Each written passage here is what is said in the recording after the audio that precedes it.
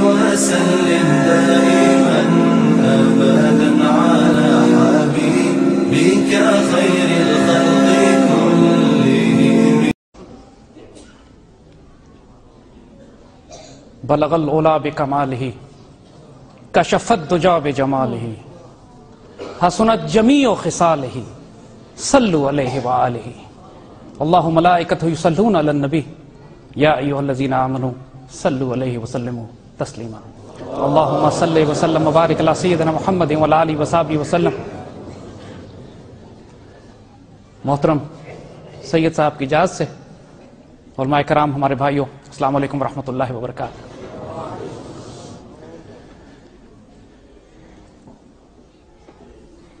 جب میرے آقا اپنے کسی امتی پر خاص الخاص کرم فرماتے ہیں جب میرے آقا اپنے کسی امتی کو اپنے قریب کرتے ہیں، جب میرے آقا جب یہ فیصلہ فرما دیتے ہیں کہ اس کو انبیاء، صدیقین، شہداء اور صالحین میں شامل کیا جائے گا، جب میرے آقا اپنی امتی پر احسان فرماتے ہیں تو اس کو عشق رسول عطا فرماتے ہیں۔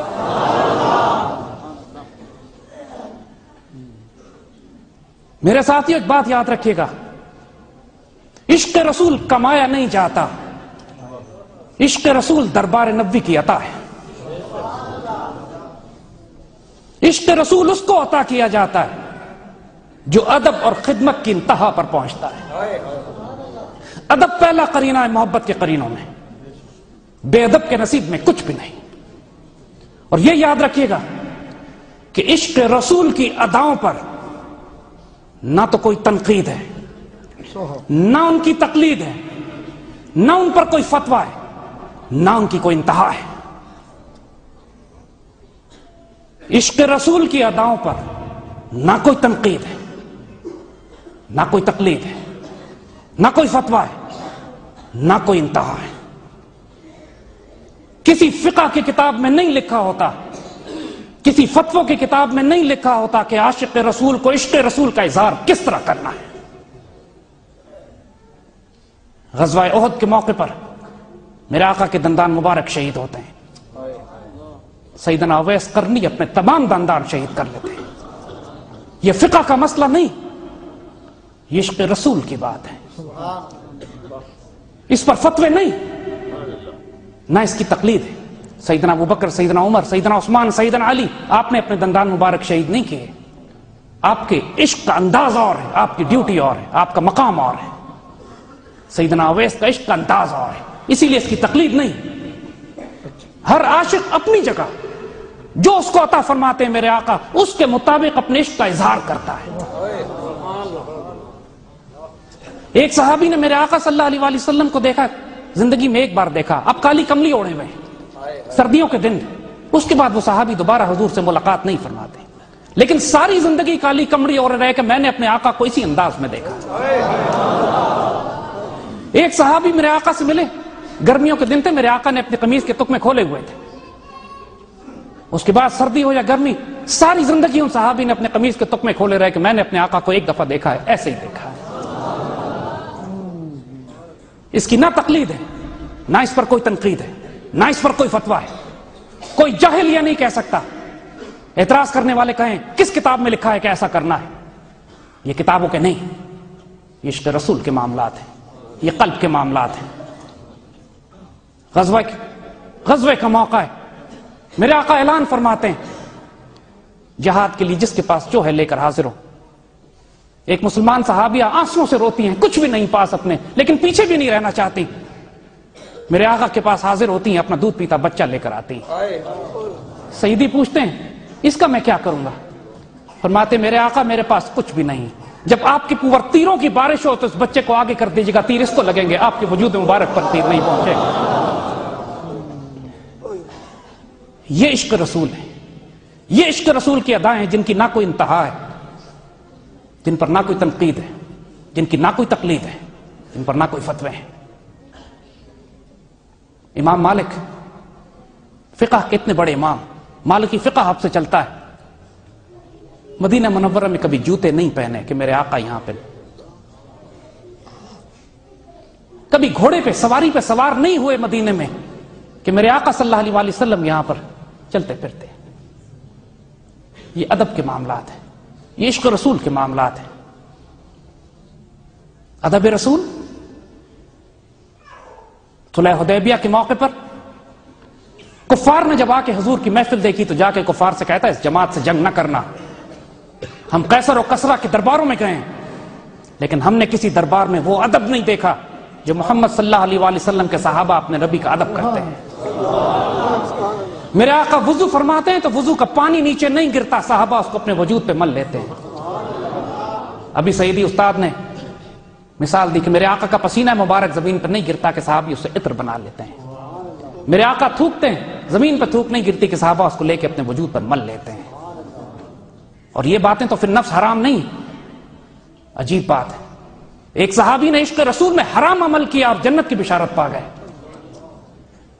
میرے آقا نے ایک دفعہ اپنا علاج کرانے کے لیے خون نکلوایا۔ کچھ خون نکلا آپ کا۔ اور ایک پیالے میں جمع ہو گیا۔ آپ نے ایک صحابی کو دیا کہ جاؤ اس کو کہیں پھینکاؤ۔ تھوڑی دیر کے بعد وہ صحابی تشریف لاتے ہیں۔ سعیدی دیکھتے ہی پہچان لیتے ہیں۔ پوچھا، کیا کیا اس خون کا؟ کہ سعیدی مجھے شرم آئی کہ آپ کا خون زمین پہ پھینکا جاتا، میں اس کو پی گیا۔ خون پینا تو ظاہراً حرام ہے۔ اب سعیدی نے کیا فرمایا؟ سعیدی فرماتے ہیں، اب جس وجود میں میرا خون شامل ہو گیا، اس پہ جہنم کی آگ حرام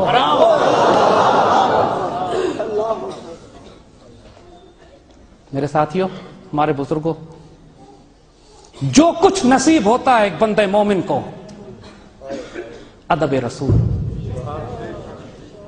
جو تباہ و برباد ہوتا ہے چاہے اس کے نماز، روزے، حج اور زکات ساری زندگی کرتا رہے۔ دربار نبی پہ آواز بلند کر دیا، مال ضائع کر دیے جاتے ہیں۔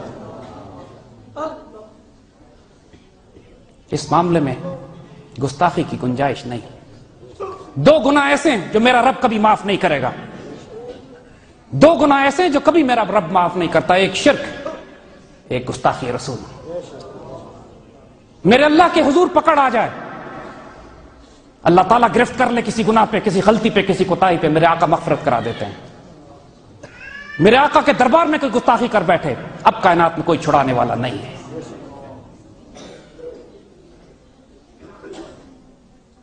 آج بھی جب اس شاق میرے آقا صلی اللہ علیہ وآلہ وسلم کے ادب کا معاملہ فرماتے ہیں،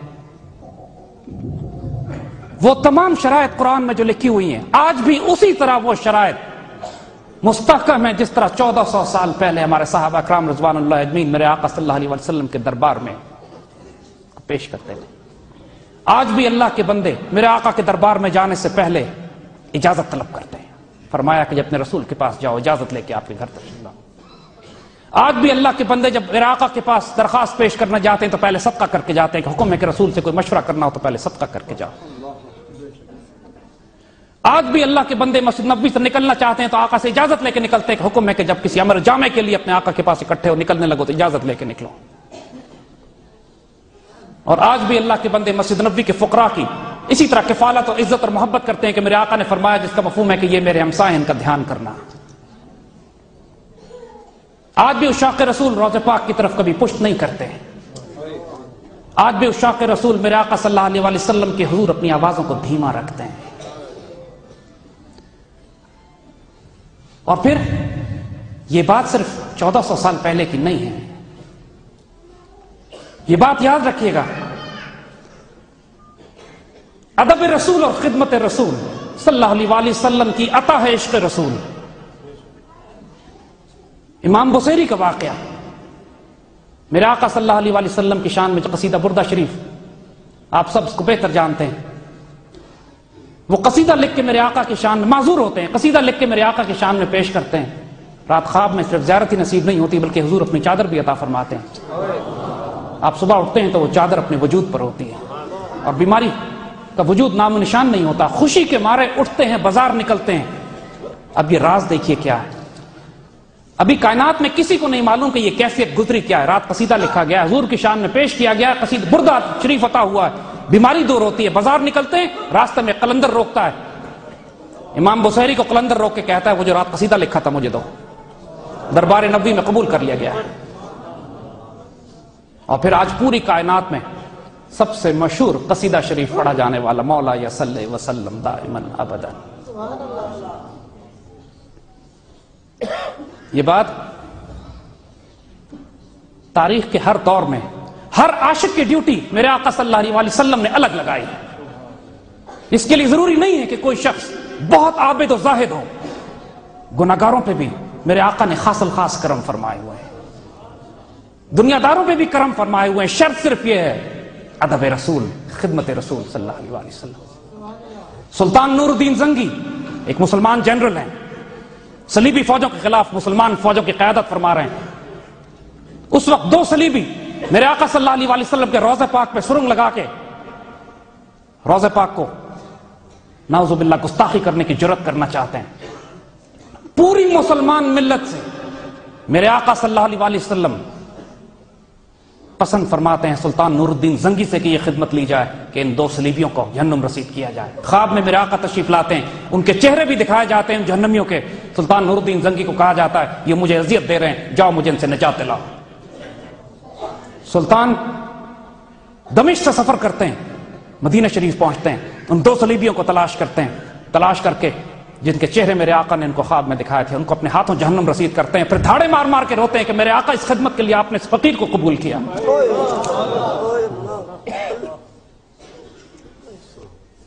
طارق بن زیاد اندلوسیا کو فتح کرنے کے لیے روانہ کیے جاتے ہیں۔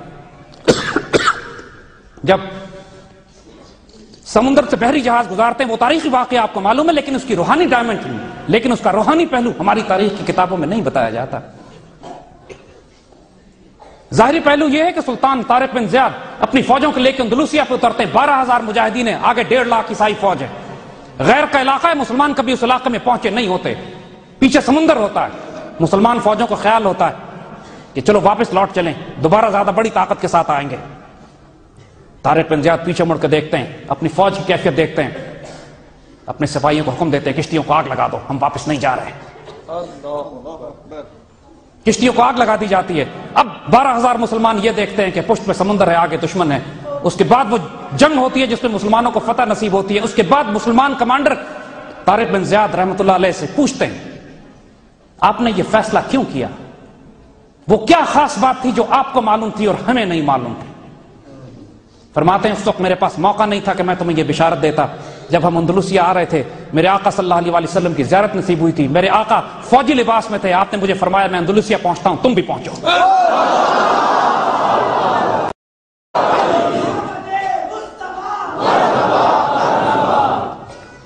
سلطان محمد فاتح، خلافت عثمانیہ کے سلطان۔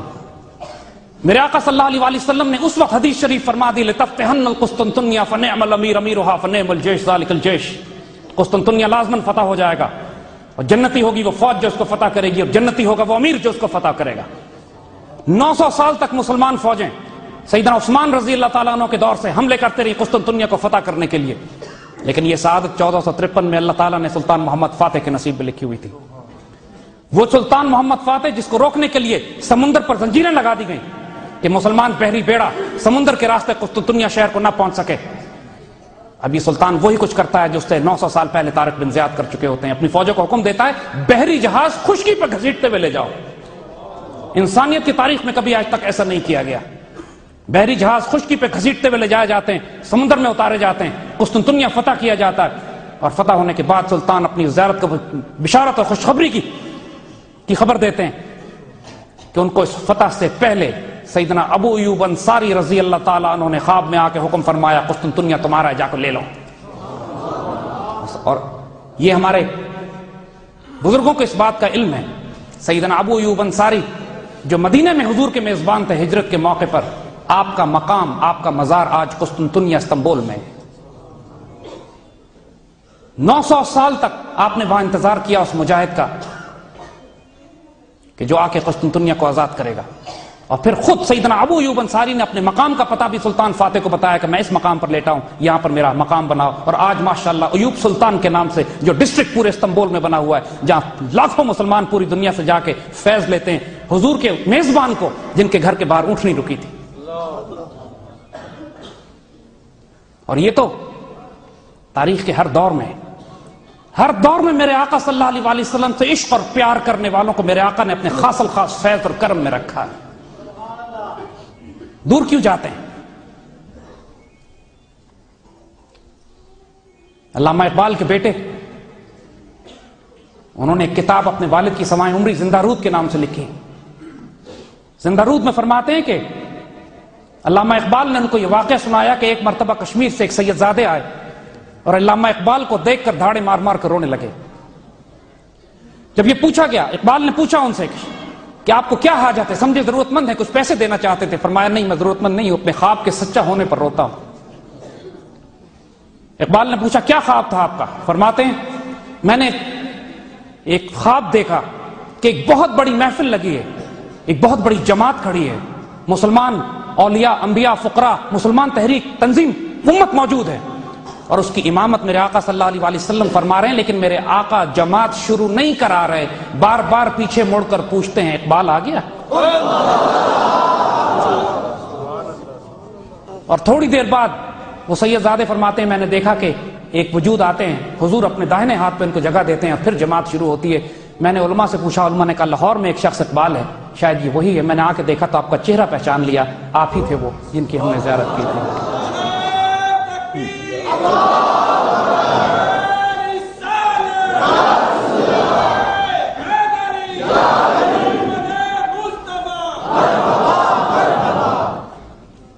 قائد اعظم کو لوگ کانگریسی مولویوں نے قائد اعظم پر کافر اعظم کے فتوے لگائے۔ بدبخت۔ وہ پلیت جو اس وقت بھی کانگریس کے ساتھ تھے، آج بھی کانگریس کے ساتھ ہے اور انشاءاللہ آخرت میں بھی کانگریس کے ساتھ ہی اٹھائے جائیں گے۔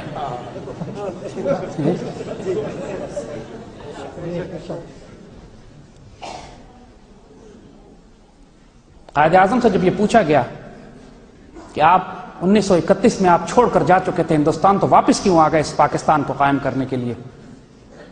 فرمایا کہ علامہ اقبال نے مجھ پہ بہت کام کیا، روحانی فیض دیا، میری تربیت کی۔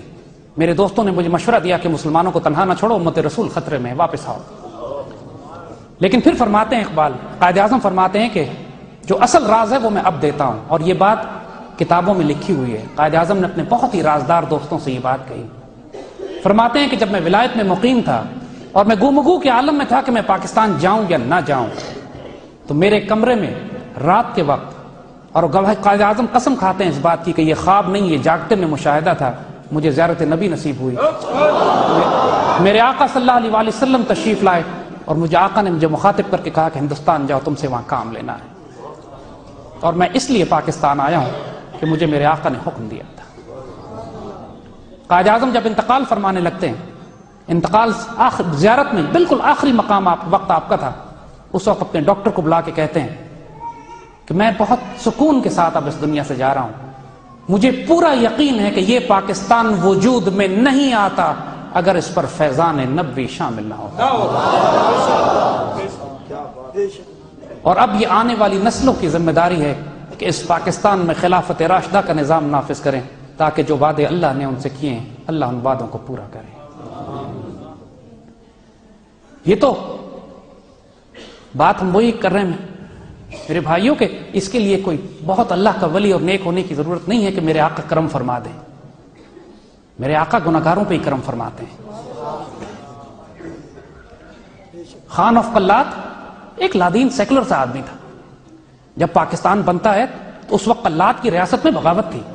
وہ یہ سوچ رہے تھے کہ پاکستان بننے جا رہا ہے، ہم اپنے آپ کو پاکستان سے الگ کر کے بلوچستان کو آزاد کر لیتے ہیں۔ اس وقت بھی یہ فتنے تھے جو آج پھیلے ہوئے ہیں۔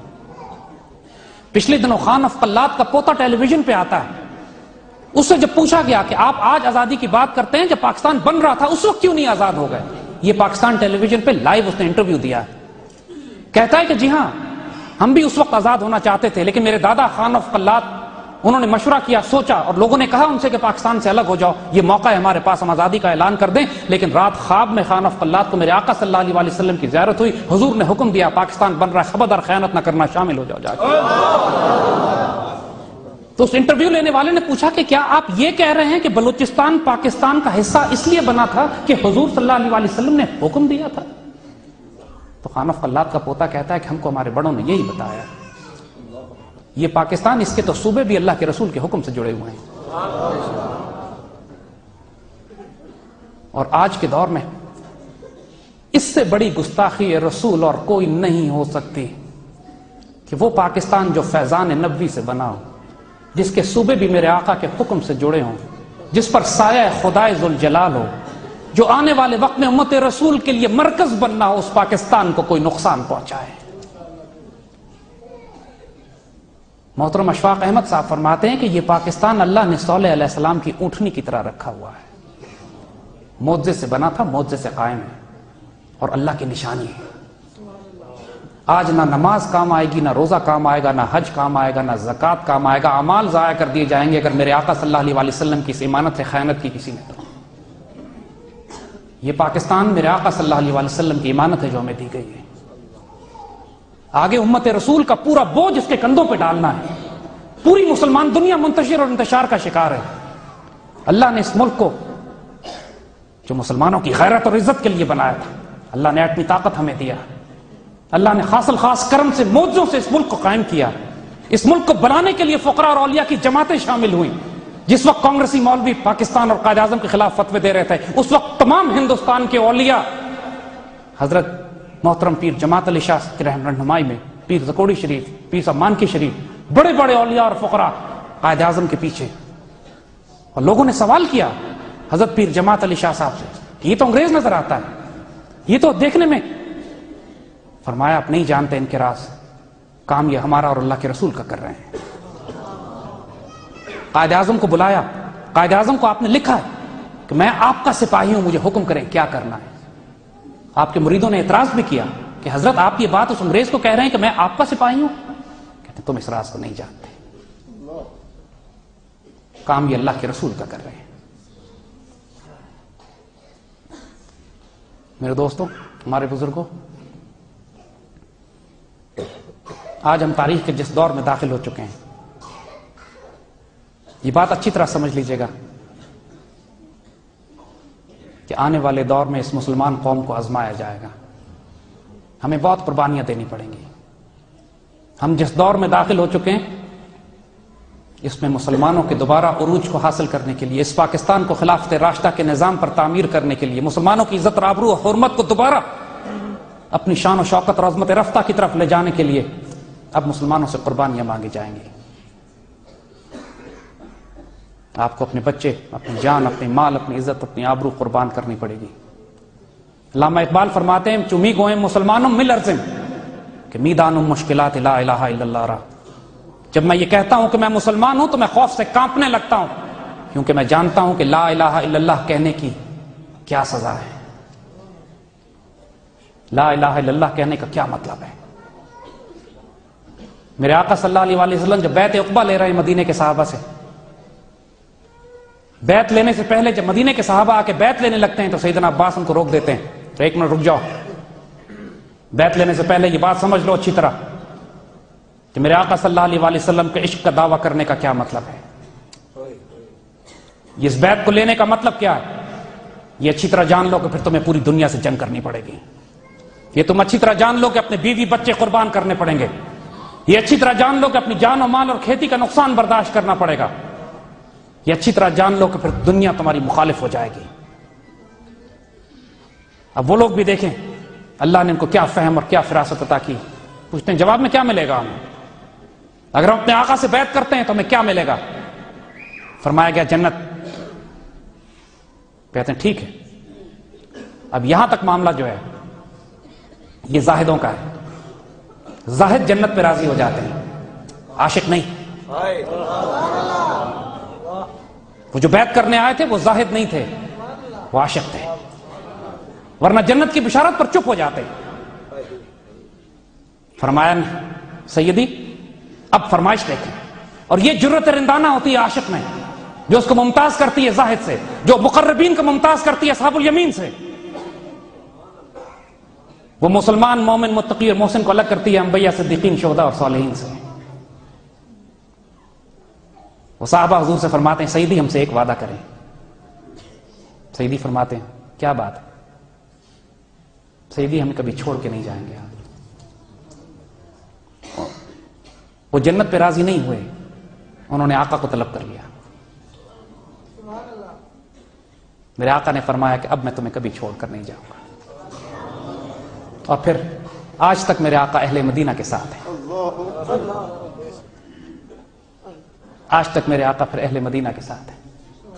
جب میرے آقا نے یہ فرما دیا کہ اہل مدینہ میرے ہمسائے ذرا ان کا دھیان کرنا۔ اس کے بعد تاریخ اسلام گواہی دیتی ہے کہ مسلمان سلاطین ایسے بھی گزرے جو اہل مدینہ پر ٹیکس نہیں لگاتے تھے۔ اہل مدینہ کی سزائیں معاف کر دیا کرتے تھے۔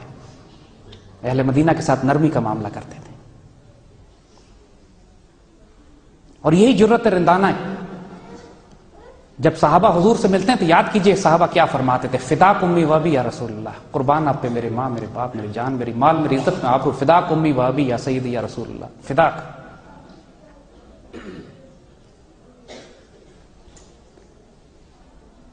میرے دوستو، میرے آقا صلی اللہ میرے آقا صلی اللہ علیہ وآلہ وسلم کا ادب اور پھر خدمت۔ خدمت کس طرح؟ آج اپنے آقا صلی اللہ علیہ وسلم کی خدمت کس طرح کریں؟ جس سے پیار ہوتا ہے، جس سے محبت کا دعویٰ ہوتا ہے، اس کو تحفے بھیجے جاتے ہیں۔ اس کو تحفے بھیجے جاتے ہیں۔ ایک فقیر سے پوچھا گیا زکات کتنی نکالیں؟ جواب دیتا ہے کہ زکات فقہ کی بتاؤں، محبت کی بتاؤں یا عشق کی بتاؤں؟ اگلا حیران ہوتا ہے زکات تو ایک ہی ہوتی ہے۔ فرمایا، فقہ کی زکات یہ ہے کہ اگر سو روپے تمہارے پاس ہیں اور بچ گئے تو پھر اس میں سے ڈھائی نکال کے تقسیم کر دو۔ فرمایا، محبت کی زکات محبت کی زکات یہ ہے کہ ڈھائی رکھ لو، ساڑھے ستانوے تقسیم کر دو۔ اور عشق کی زکات کہتے وہ ڈھائی بھی تقسیم کر دو جو رکھے تھے تم نے۔ جو معاملہ مال کا ہے، اس شاخ کے نزدیک یہی معاملہ اعمال کا بھی ہے۔ میرے آقا صلی اللہ علیہ وآلہ وسلم سے محبت کرنے والے آپ کو درو شریف کے تحفے بھیجتے ہیں۔ مگر آپ کو معلوم ہے کہ اشاق کیا کرتے ہیں؟ اشاق رب کو مخاطب کر کے کہتے ہیں، میرے مالک، میری زندگی کے جتنے بھی گناہ ہیں، وہ تو جانے تیرا کام جانے۔ میں تیرے آسرے پہ ہوں۔ میرے گناہوں کا معاملہ تیرے حوالے۔ مجھے یقین ہے کہ تو مجھ سے میرے تو مجھ سے میرے گمان کے مطابق سلوک کرے گا اور میرا گمان یہ کہ تیری مغفرت میرے گناہوں پر زیادہ وسیع ہے۔ میرے مالک، میرے گناہوں کا معاملہ تو اس طرف ہوا۔ نہ میں جنت کے لیے عمل کرتا ہوں، نہ میں دوزخ کے لیے عمل کرتا ہوں۔ نہ دوزخ کے خوف سے کرتا ہوں، نہ جنت کے لالچ میں کرتا ہوں۔ میرے مالک، میں صرف اور صرف اور صرف قرب رسول اور وجہ اللہ کے لیے، اللہ کی ذات کے لیے میرے مالک، تیرے واسطے میں یہ عمل کرتا ہوں۔ تو میرے گناہوں کو تو اپنے فضل سے، اپنے کرم سے آپ دیکھ لینا۔ اب رہے بات میری نیک مال کی۔ اور جو میرے نیک امال ہیں، مجھے یہ معلوم ہے کہ جو مقام میں چاہتا ہوں، قرب رسول کا اور عشق رسول کا، وہ میرے امال اتنے ہیں ہی نہیں کہ امال کے اجر میں مجھے وہ مقام دے دیا جائے جو انبیاء، صدیقین، شہداء اور صالحین کے ساتھ ہوتا ہے۔ تو میں اپنے ان امال کو بھی تحفہ بنا کر آقا کے قدموں میں پیش کرتا ہوں۔ اب نہ میرے پلے گناہ، نہ میرے پلے نیکیاں، میں نے نیکیاں اپنی آقا کے قدموں میں قربان کی، میرے گناہ اپنے کرم سے معاف کر دینا۔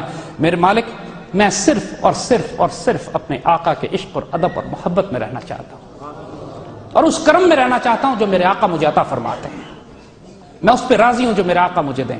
مجھے اپنی کمائی پہ تکبر نہیں، مجھے اپنی کمائی پہ آسرا نہیں، مجھے اپنی کمائی پر بھروسہ نہیں۔ جو کچھ میں نے کمایا، میرے حج، میری نیکیاں میری زکات میرے صدقات، میرے خیرات، میرے درو شریف، میری نمازیں۔ سب کچھ میں تحفہ پیش کرتا ہوں۔ میں نے مالک تیرے واسطے کیا، تو نے قبول فرمایا، تو میرے آقا کو تحفہ دے دے۔ یہاں پر بیس بیس سال کے بچے ایسے ہیں جو ظاہر یونیورسٹیز اور کالجز میں پڑھتے ہیں لیکن رات کو سوتے نہیں جب تک دن بھر کے نیک مال اپنے آقا کو تحفے میں بھیج نہ دے۔ عشق رسول کسی کی میراث نہیں۔ ادب رسول اور خدمت رسول، عشق رسول دربار نبی سے عطا ہوگا انشاءاللہ۔ اور پھر جس کو عشق رسول عطا ہوتا ہے، اس کی نشانیاں آپ کے وجود میں بتاتے ہیں۔ یہ ممکن نہیں ہے کہ جس کو عشق رسول عطا ہو اور اس سے آپ کو عشق رسول کی خوشبو نہ رہے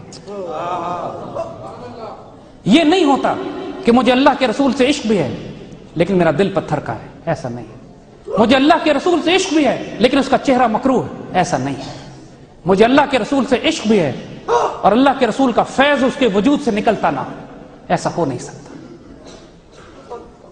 میرے آقا صلی اللہ علیہ وآلہ وسلم جب کرم فرماتے ہیں جب اپنا فیض عطا فرماتے ہیں، جب اپنا عشق عطا فرماتے ہیں، پھر وہ میرے آقا کے عشق کا وسیلہ اور فضیلہ بھی بنتا ہے۔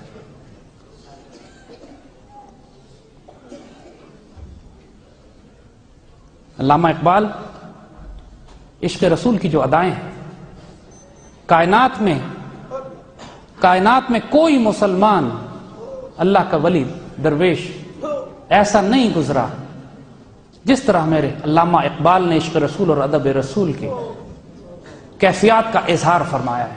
اسی لیے ہم کہتے ہیں آپ سے، اقبال کو پڑھیے۔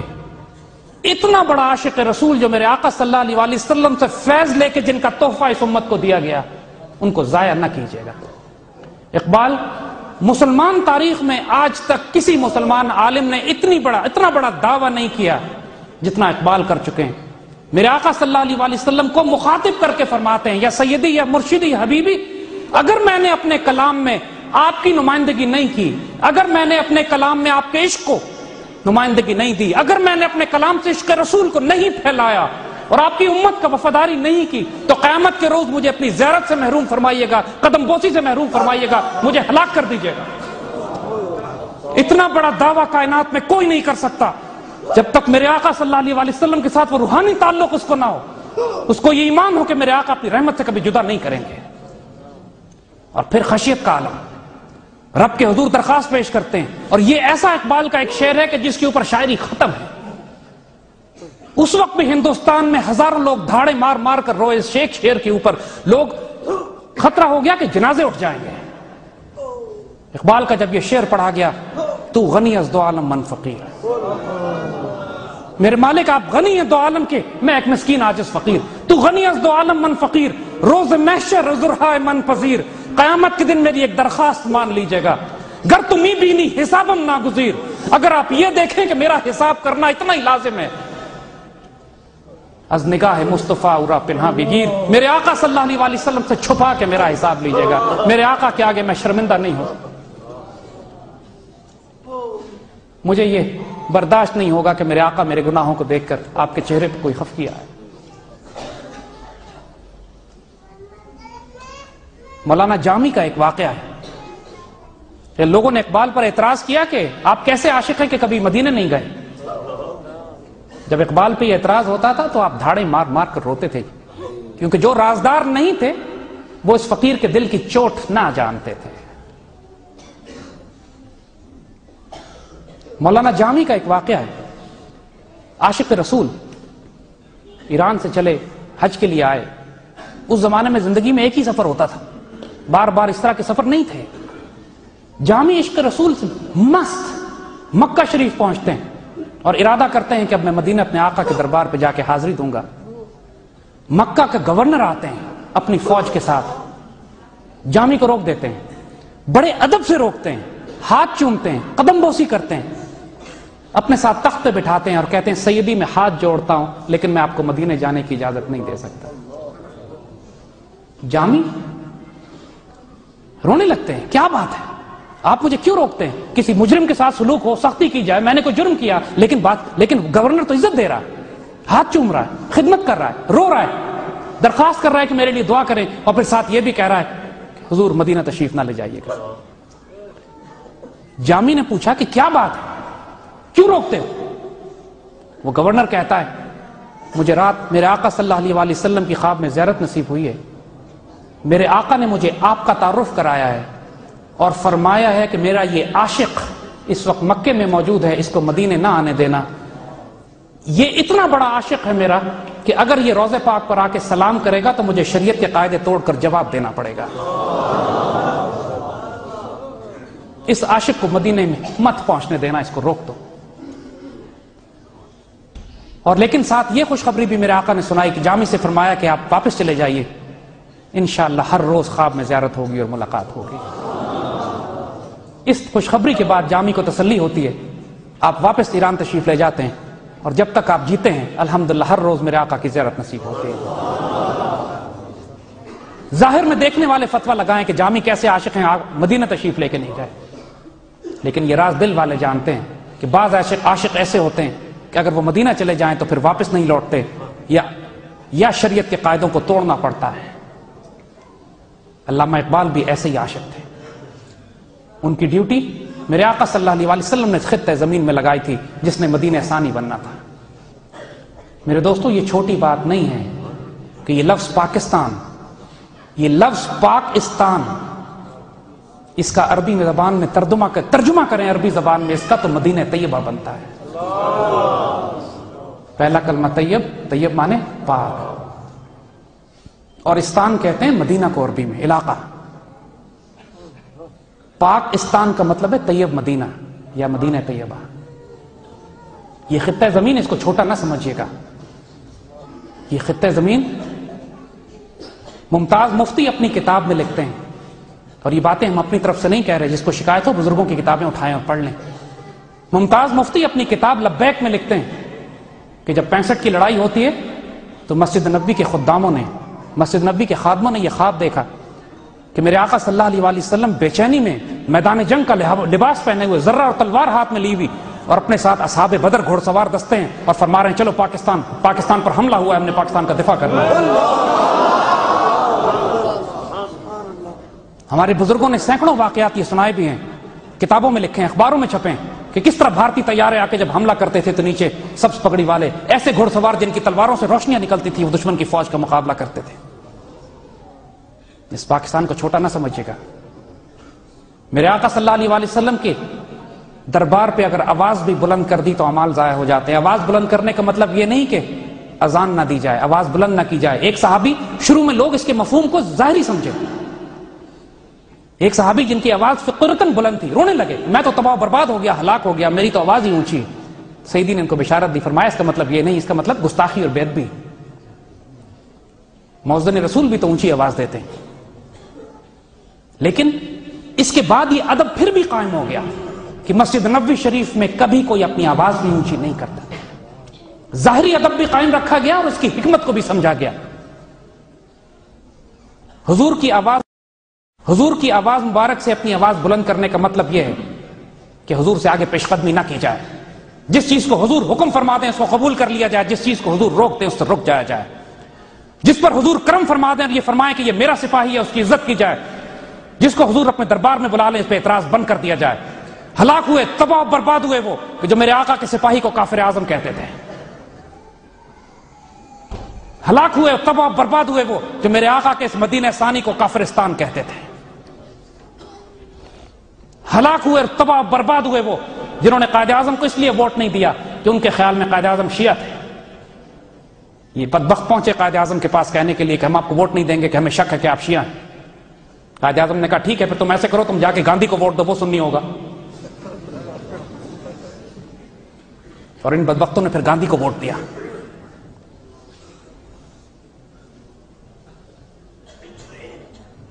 آج کے دور میں میرے آقا صلی اللہ علیہ وسلم نے جو تحفہ آپ کو دیا ہے، یہ پاکستان ہے۔ اسے خیانت نہ کیجیے گا۔ یہ تحفہ صلی اللہ علیہ السلام کی اٹھنی بھی ہے، وقت کا مدینہ احسانی بھی ہے۔ امت رسول صلی اللہ علیہ وآلہ وسلم کی ایمانت بھی ہے، میرے آقا کا تحفہ بھی ہے۔ اس پر سایہ خدا ذوالجلال بھی ہے۔ اس پر جو کچھ قربان کرنا پڑے، قربان کریں۔ فدا کا امی وابی امی وابی، قربان یہ سیدی، آپ کے اوپر میرے ماں، میرے باپ، میرے جان، میرے مال میری عزت، میری آبرو، میرا سب کچھ۔ یہ سوال نہیں کرنا کہ میرے آقا نے مجھے کیا دیا، سوال یہ کرنا میں نے اپنے آقا پر کیا فدا کیا کیا چھوڑ دیا، کچھ نہیں باقی۔ صدیق کے لیے بس اللہ اس کا رسول بس۔ اس بات سے فرق نہیں پڑتا کہ کتنی بڑی محنت ہے آپ کی، کتنی کوشش ہے آپ کی۔ جب غزوہ تبوک کے موقع پر سلمان سامان طلب کیا گیا، سیدنا عمر فرماتے ہیں، آج میں سب سے زیادہ سامان لے کے جاؤں گا، گھر کے دو حصے کیے، آدھا سامان لے کے میرے آقا کی خدمت میں پہنچے۔ سیدنا ابو بکر صدیق رضی اللہ تعالیٰ نے گھر کا پورا سامان سمیٹ کر پہنچے ہوئے تھے۔ جب پوچھا صدیق اکبر سے صدیق گھر پہ کیا چھوڑا؟ فرماتے ہیں کہ صدیق کے لیے اللہ اس کا رسول بس۔ ایک صحابی موجود دھاڑے مار مار کے رونے لگے۔ کچھ بھی نہیں تھا پاس۔ خالی ہاتھ۔ وہ ایک یہودی کے پاس گئے۔ اس سے کہا، میں تمہارے کھیت میں کام کرتا ہوں۔ سارا دن کام کیا اور پھر ایک مٹھی بھر کھجور مزدوری کے طور پر ملی۔ وہ مٹھی بھر کھجور لے کر آئے۔ آقا کے پاس سیدھی، میرے پاس تو یہی تھا۔ میرے آقا نے وہ کھجوریں لی، پورے سامان پہ بکھیر دی کہ اب تمام سامان سے زیادہ قیمتی یہ کھجوریں کہ تو لے کر آئے۔ یہ نہ دیکھنا کہ آپ کی کوشش اللہ، اس کے رسول صلی اللہ علیہ وسلم کے دین کے لیے اور اس پاکستان کے لیے کتنی چھوٹی ہے کتنی بڑی ہے۔ اپنی نیتوں کو خالص رکھنا۔ میرے آقا کرم فرمانے والے ہیں، رحم فرمانے والے ہیں، مساکین کی کوششوں کو قبول فرمانے والے ہیں۔ صرف ایک شرط ہے۔ دو جہانوں کی سرداری آپ کے لیے شرط صرف ایک ہے کہ محمد سے وفاتو نے تو ہم تیرے ہیں۔ یہ جہاں چیز ہے کیا لوہ قلم تیرے ہیں۔ بندہ مومن کی جو صرف اللہ تعالیٰ بتاتا ہے، جو اقبال نے واضح کر دی، عاشق رسول تقدیر کا پابند نہیں ہوتا۔ عاشق رسول تقدیر کا پابند نہیں ہوتا۔ خدا اس سے خود پوچھتا ہے، بتا تیری رضا کیا ہے؟ عاشق رسول کوئی اندازہ کر سکتا ہے اس کے زور بازو کا کہ نگاہ مرد مومن سے بدل جاتی ہیں تقدیریں۔ عاشق رسول اقبال فرماتے ہیں، تقدیر کے پابند جمادات و نپاتات مومن فقط احکام الہی کا ہے پابند۔ وہ بندہ آزاد، وہ مرد آزاد جو کائنات کی وسطوں میں تکبیر مسلسل دیتا ہے۔ جس کی اذان سے شبستان وجود لرستے ہیں، وہ بندہ مومن کی اذان سے پیدا ہوتی ہے۔ جو فرق ایک عام مسلمان میں اور ایک بندہ مومن میں کہ عام مسلمان رسم اذان دیتا ہے، بندہ مومن کے پاس روح پلالی ہوتی ہے۔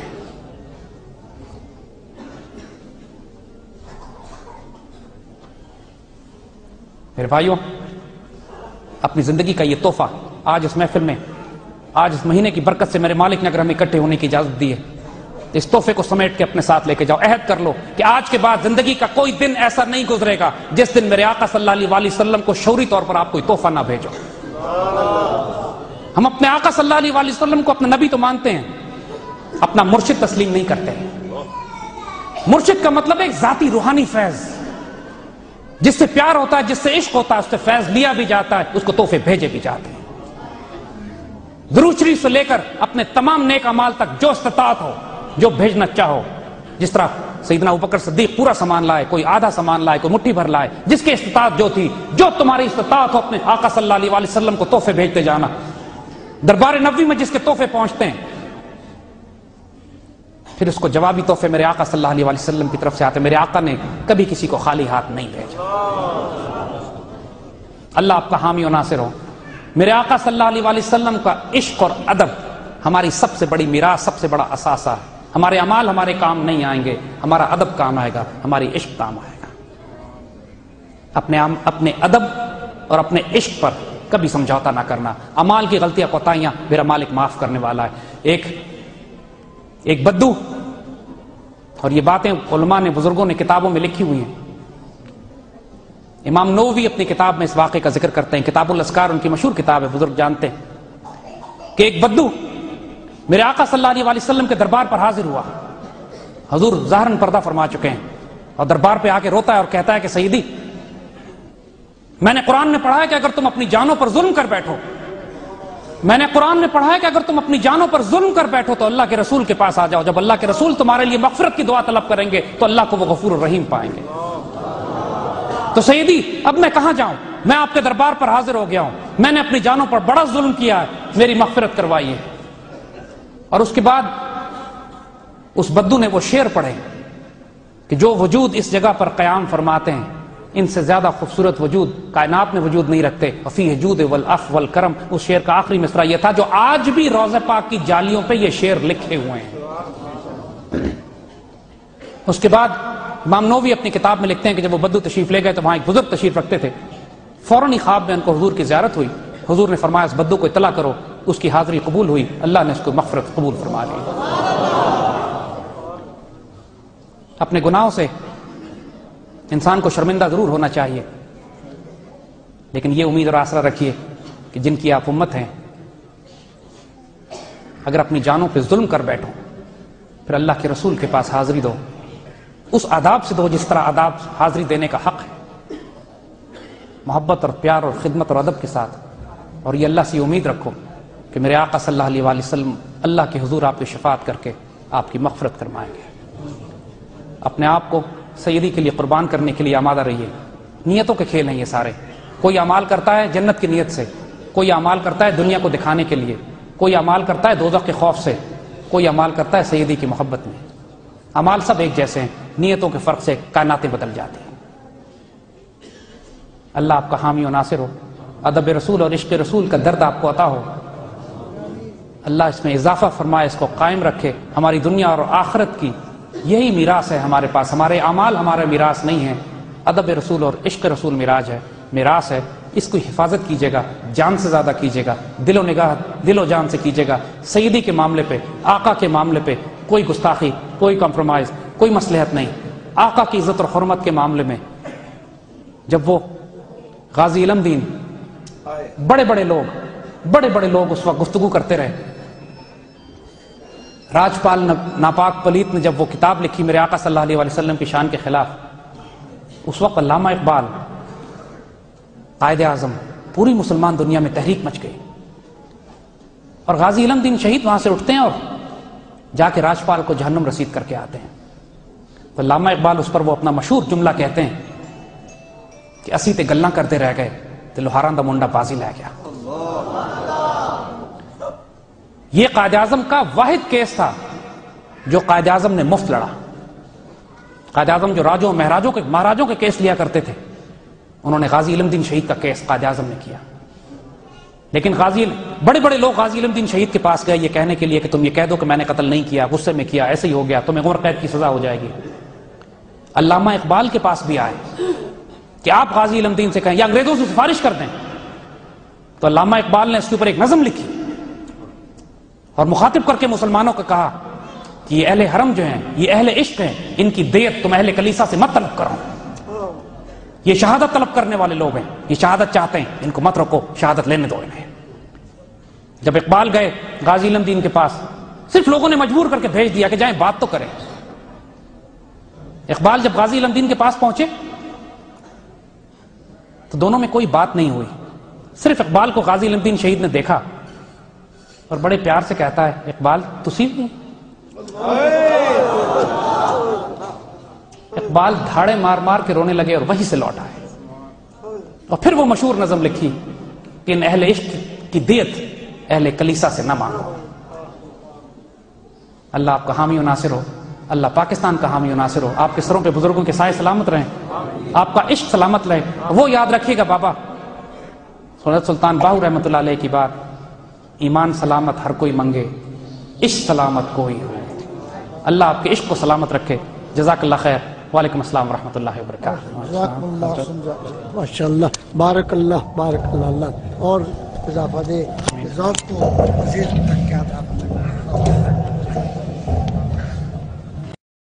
اللهم صل